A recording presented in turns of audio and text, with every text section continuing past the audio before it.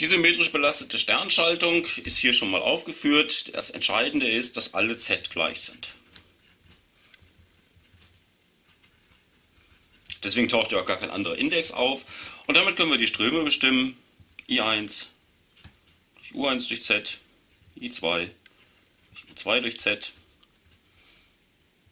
I3 gleich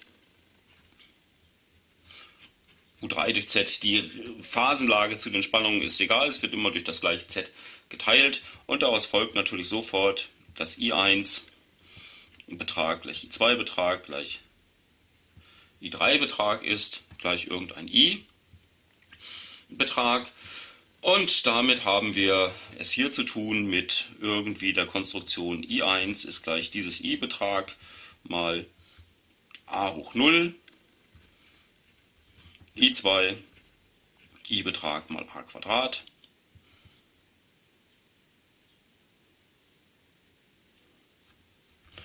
Und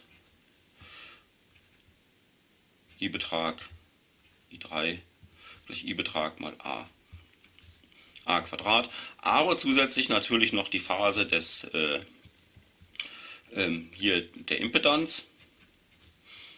Schreiben wir z als z-Betrag mal e hoch j Phi, dann haben wir hier nochmal e hoch minus j Phi mal e hoch minus j Phi mal e hoch minus j Phi äh, mit aufgetaucht.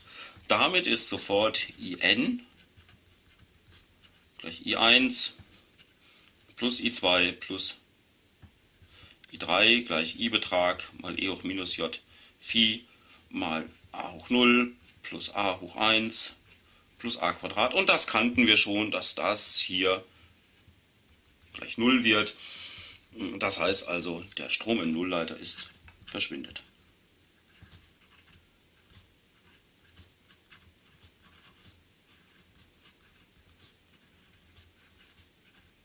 Verschwindet bei